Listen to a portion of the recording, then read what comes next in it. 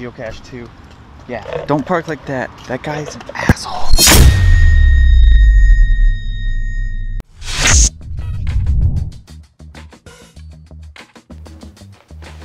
All right, more exciting stuff from the vacation.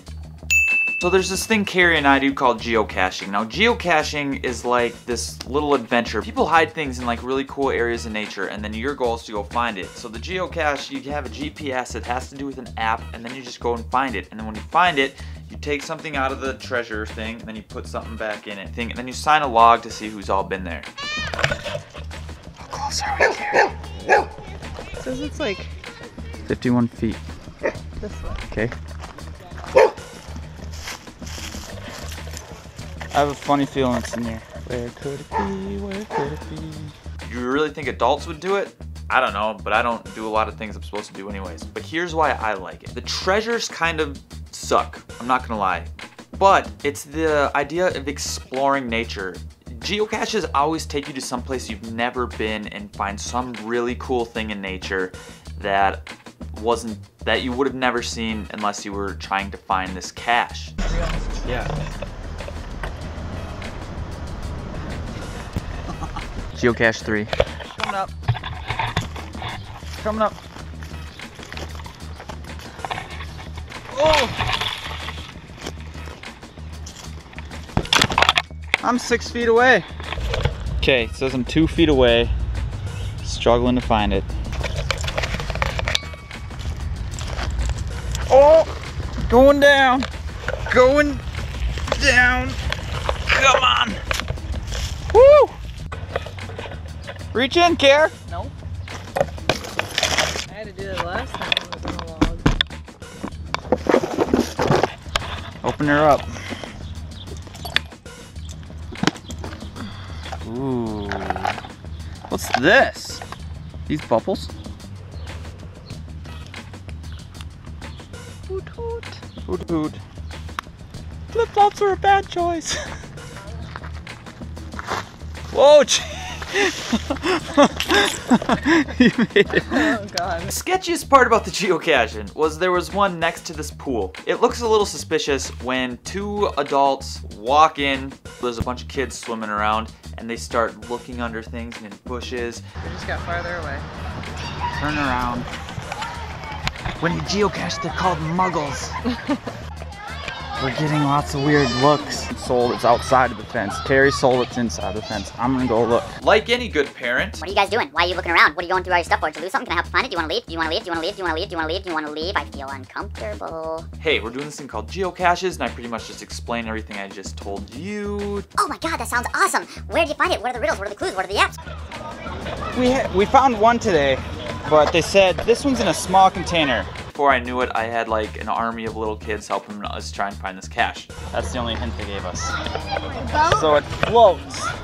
That's the hint. No geocache yet. I'm in the middle of nowhere. So I found this ball.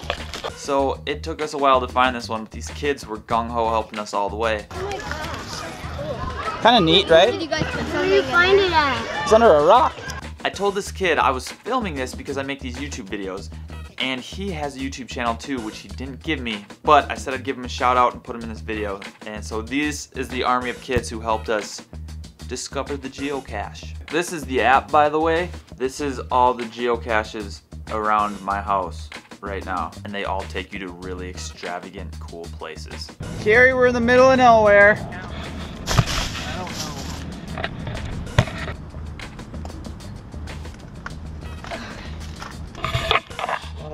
Little caves and shit here. You found it? Go get it.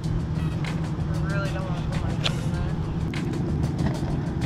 in Yeah! You found it. Do not keep me, I am Travel Bug. Help me travel from cache to cache. Visit groundspeak.com to learn about me and how to help me in my next travel. Sweet. We shall take you, little guy. We had access to like 10 pools, and my goal is to swim in every single one.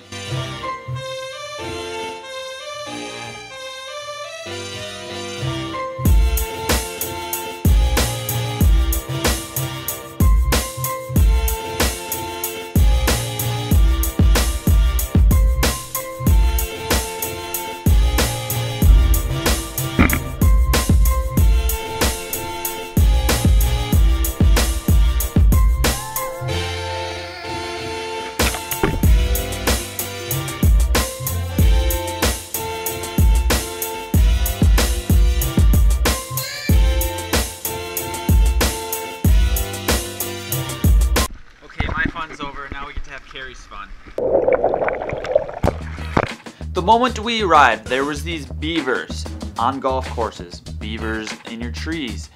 Okay, they weren't in the trees because beavers, I don't know if beavers climb trees, so I don't want any beaver hate.